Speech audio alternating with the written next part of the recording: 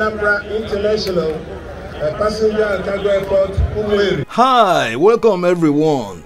A few days ago, the Economic and Financial Crimes Commission announced that it has advised the Nigerian Immigration Service to inform them whenever the current governor of Anambra State, Willie Obiano, presents himself at any international airport in Nigeria to travel outside the country. That Willie Obiano has been placed in the EFCC watch list, which means that they will somehow prevent him from traveling outside the country until the EFCC operatives arrive at the airport to either arrest him or maybe question him. Of course, this scenario can only happen if he did not honor their invitation, which can only be after his tenure ends in March 2022 because governors in Nigeria enjoy immunity from arrest or prosecution. A sitting governor can simply not be subjected to this in Nigeria. So when this was made public, the governor, Willie Obiano, quickly replied the EFCC by reminding them that he had made it public a few years ago that he will be returning to his base in the United States after his tenure ends next year. Obiano is a former executive director in Fidelity Bank before becoming the governor of Anambra State. Obiano has been living with his family in the United States ever since. So it makes perfect sense for him to return to his family and base. Now to the reason EFCC put him on the watch list. The EFCC alleges that Obiano mismanaged the Paris Club funds of Anambra State, including security votes. As you are aware, the federal government a few months ago shared billions of naira among the 36 states and the federal capital territory as a refund for over-deduction on the Paris Club loan. The funds were shared in two tranches and Anambra State received about 17 billion naira. So following the allegation of funds mismanagement, the EFCC invited some commissioners currently serving in Anambra State, including some principal officers, to conduct a thorough investigation about the allegation against Obiano.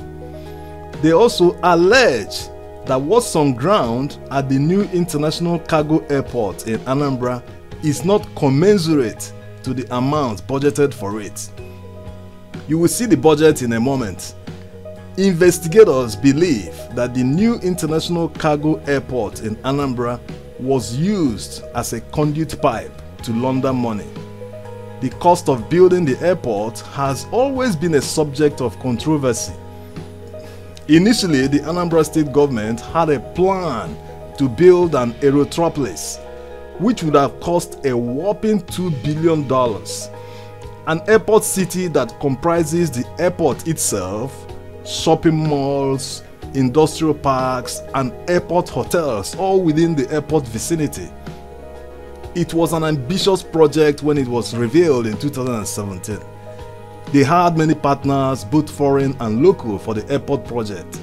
It was supposed to be executed under a build, operate, manage, and transfer agreement. But the airport city project was cancelled because it seemed that the Chinese partner wasn't up to the task in terms of sourcing funds for the project. After the cancellation, it looked like the construction of the airport wouldn't materialize anymore. But the government persevered they decided to scale down the airport to a manageable budget that the state can afford. Because it's not easy to get funding for an airport project, even in Western countries, especially when there are airports in close proximity to Anambra in Asaba, Imo, and Enugu states. In fact, the airport in Imo is a cargo airport just like the one of Anambra State. In order to get funding, a lot of feasibility studies will need to be done to prove the viability of the airport. Experts must guarantee return on investment before funding can be approved. Apart from the airport project being a campaign promise of Obiano, majority of Anambrarians find it hard to swallow the fact that Anambra State doesn't have its own airport. The Anambra State economy can truly support and make the new airport viable, considering the fact that the Anambra business community already utilizes the nearby airports for their business activities. Diverting the huge traffic to the new Anambra International Airport will definitely get it going on a profitable note. Also, people traveling to Anambra from cities in Nigeria and the world can make the journey directly when they know that there's an airport instead of flying to a nearby airport and completing the journey by road. On how the government set out to build the airport without funding from any financial institution. After the scale down of the airport, a budget was made. A budget of 6 billion naira for the airport was captured in the 2020 budget of Anambra State. According to the first plan, the airport was supposed to have two runways, but it was scaled down to just one runway, leaving the second one for future expansion. So as you can see, the airport isn't bad at all, considering the 6 billion naira budget. It has the second longest runway in Nigeria, but it is the second budget for the airport that a lot of people are questioning. And it might be the reason for these allegations. The Anambra International Airport has a budget of 10 billion naira in the 2022 Anambra budget. So it raises a lot of questions. What will the 10 billion naira be used for? Since the airport has been completed and commissioned, although not yet operational. On the 2022 budget, the 10 billion naira is listed for the completion of Anambra International Airport. What is there to complete again when the airport was recently commissioned? Are they owing some contractors? Or is it for additional projects in and around the airport? Even if it is, will the new projects cost more to build than the airport itself? Well, the government needs to make these expenditures very transparent in order to clear all doubts about mismanagement. Because if some of these expenditures are not commensurate to what is on ground, it gives room for suspicion, which in turn leads to allegations. Anambra State just recently concluded elections, and you know politicians. Anything can happen. Anything can happen from the government in power and from those in opposition. Because it is obvious that the actions of the EFCC are based on the petition they received. Yes, that's how they operate. If they receive a petition against someone, they try and investigate the allegations to determine if it is true. If there is evidence that shows culpability, they now take it from there. What the governor should do is to make all information about these allegations public. It is public money that was spent after all. EFCC announcing that someone is on their watch list doesn't look professional is going public meant to frighten Obiano? Clear conscience, they say, fears no accusation. Before operatives should go public about someone they are after, they should be quite sure that the person is on the run.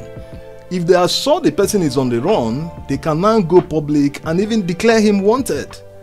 There's no doubt that the EFCC are doing a great job, but sometimes they overdo certain things out of maybe the zeal or passion to get things right which is understandable.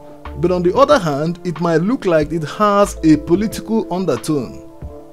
The Anambra State House of Assembly should do the needful and question the executive arm on why a fresh 10 billion naira should be spent on a completed airport project. Yes, the time is now because the budget has not been passed. Although all budget expenditures are estimates, like this Anambra 2022 budget that is based on $50 per barrel of crude oil sales. But the executive arm knows how to prioritize projects. They know that once the budget is passed and it is signed into law, it has become law. So they will surely find a way to get funds for it once it is already budgeted for. Let the State House of Assembly scrutinize the first 10 billion naira budget for the airport they should remember that there are many sectors where the huge amount could be spent in Anambra State to improve the lives of citizens they represent. On the other hand, if the government doesn't owe contractors, the airport should be put to use as it is. There's no need for an immediate expansion until there's a need for it, like when the main terminal will become too small for the passengers or when the traffic has increased to a level that a second runway will be inevitable. just like every other business. If they can operate the airport as it is, there's no need for an immediate expansion until they can break even. Alright, wonderful viewers, we hope you enjoyed this video. Have you subscribed to our channel? Click the subscribe button now as it is coming up. Thanks for watching, bye bye.